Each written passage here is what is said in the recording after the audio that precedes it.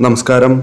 ഹിന്ദു വിശ്വാസപ്രകാരം ഒരു ഗൃഹത്തിൽ തുളസിത്തറയും വിളക്കും പൂജാമുറിയും വേണ്ടതാണ്.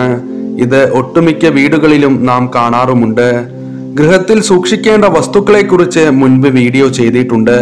ആ വീഡിയോന്റെ ലിങ്ക് ഡിസ്ക്രിപ്ഷൻ ബോക്സിൽ നൽകിയിരിക്കുന്നു. പൂജാമുറിയിൽ നമ്മുടെ ഇഷ്ടദേവതകളുടെ ചിത്രങ്ങളും വിഗ്രഹങ്ങളും നാം വയ്ക്കുന്നു. കൂടാതെ രാമായണം ഭഗവത്ഗീത ദേവി മഹാത്മ്യം പോലുള്ള അമൂല്യ ഗ്രന്ഥങ്ങളും ലളിതാ സഹസ്രനാമവും നാരായണീയവും നമ്മുടെ വീടുകളിൽ സൂക്ഷിക്കുന്നു. എന്നാൽ പൂജാമുറിയിൽ നാം വിഗ്രഹങ്ങൾ വയ്ക്കുമ്പോൾ എത്തരത്തിൽ വയ്ക്കണമെന്നും ഏത് ഫലപ്രാപ്തിക്ക് വേണ്ടി ഭഗവാൻ ശ്രീകൃഷ്ണന്റെ ചിത്രങ്ങൾ വയ്ക്കണമെന്നും മുൻപ് വീഡിയോ ചെയ്തിട്ടുണ്ട്. ഈ വീഡിയോന്റെ ലിങ്ക് ഡിസ്ക്രിപ്ഷൻ ബോക്സിൽ നൽകിയിരിക്കുന്നു. നാം പൂജാമുറിയിൽ വയ്ക്കുവാൻ പാടില്ലാത്ത ചിത്രങ്ങളെക്കുറിച്ച് ഈ വീഡിയോയിലൂടെ മനസ്സിലാക്കാം. നടരാജ വിഗ്രഹം ഭഗവാന്റെ താണ്ഡവ രൂപത്തിലുള്ള വിഗ്രഹമോ ചിത്രങ്ങളോ വീട്ടിൽ വയ്ക്കുന്നത് അശുഭമാണ്. ഭഗവാൻ താണ്ഡവ രൂപത്തിൽ എല്ലാം നശിപ്പിക്കുന്ന ഭാവത്തിലാണ് നിൽക്കുന്നത്.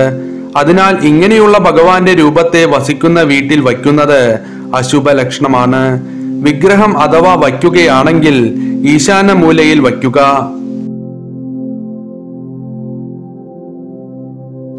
ലക്ഷ്മി ദേവി സമ്പത്തിന്റെയും ഐശ്വര്യത്തിന്റെയും ദേവതയാണ് ലക്ഷ്മി ദേവി എന്നിരുന്നാലും ലക്ഷ്മി ദേവിയുടെ നിൽക്കുന്ന രൂപത്തിലുള്ള ചിത്രങ്ങൾ വീട്ടിൽ വയ്ക്കുന്നത് നല്ലതല്ല.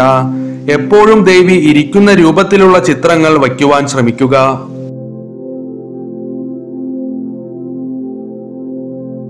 ഭൈരവദേവൻ.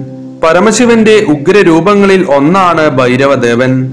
അതിനാൽ വീടിനകത്ത് പൂജാമുറിയിൽ ഭൈരവ ആരാധന നടത്തുവാൻ പാടുള്ളതല്ല. ഭൈരവാരാധന വീടിന് പുറത്താകാം. ശനിദേവൻ ശനിദേവന്റെ ചിത്രങ്ങളോ വിഗ്രഹങ്ങളോ വീടിനുള്ളിൽ വയ്ക്കുവാൻ പാടുള്ളതല്ല. ഭൈരവ ആരാധന പോലെ വീടിന് പുറത്ത് സൂക്ഷിക്കേണ്ടവയാണ്. ശനിദേവനെ വീടിനകത്ത് ആരാധിക്കുന്നത് അശുഭമായി കണക്കാക്കപ്പെടുന്നു. രാഹുകേതു. ഐതിഹ്യങ്ങൾ പ്രകാരം രാഹുകേതു ദേവന്മാർ പാപികളാണ്. അതിനാൽ അവരെ വീടിനകത്ത് ആരാധിക്കുന്നത് ദോഷമായി കണക്കാക്കപ്പെടുന്നു. ഇവരെ പ്രാർത്ഥിക്കുന്നതിനാൽ വീട്ടിൽ സമാധാനം ഉണ്ടാകുന്നു എന്നിരുന്നാലും വീടിന് പുറത്ത് വച്ച് ആരാധിക്കുന്നതാണ് ഉത്തമം. ഗണപതി ചിത്രം. ഗണേശ വിഗ്രഹങ്ങളും ചിത്രങ്ങളും നാം പരിശോധിക്കുമ്പോൾ രണ്ടു തരത്തിലായി കാണുന്നു. ഭഗവാന്റെ തുമ്പിക്കൈ വലത്തോട്ട് അല്ലെങ്കിൽ ചില ചിത്രങ്ങൾ പ്രകാരം ഇടത്തോട്ടായി കാണുന്നു. ഇടത്തോട്ടായിട്ടുള്ള ചിത്രങ്ങൾ വീട്ടിൽ വയ്ക്കുന്നത് ശുഭമാണ്. എന്നാൽ വലത്തോട്ട് തുമ്പിക്കൈയായുള്ള ചിത്രങ്ങൾ വയ്ക്കുമ്പോൾ ഭഗവാൻ സിദ്ധിവിനായക രൂപത്തിലാകുന്നു.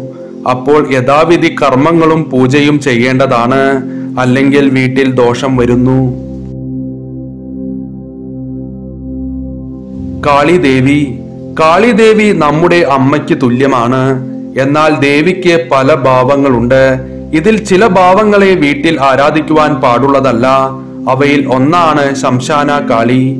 എന്നാൽ മഹാകാളി രൂപത്തെ വീട്ടിൽ ചിത്രങ്ങളായി ആരാധിക്കാവുന്നതാണ്.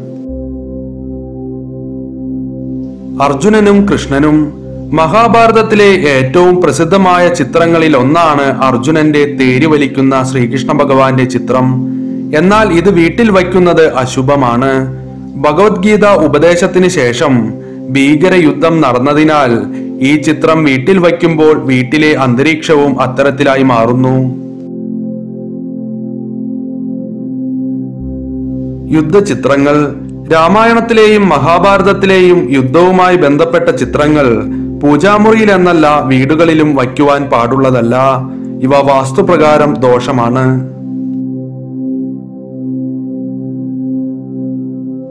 പിതൃക്കളുടെ ചിത്രങ്ങൾ മരിച്ചവരുടെ ചിത്രങ്ങൾ പൂജാമുറിയിൽ വയ്ക്കരുത്. ഇത് ദോഷമാകുന്നു. പിതൃക്കളുടെ ചിത്രങ്ങൾ എവിടെയെല്ലാം വയ്ക്കാം എന്നുള്ള വിശദമായ വീഡിയോ മുൻപ് ചെയ്തിട്ടുണ്ട്. ആ വീഡിയോന്റെ ലിങ്ക് ഡിസ്ക്രിപ്ഷൻ ബോക്സിൽ നൽകിയിരിക്കുന്നു.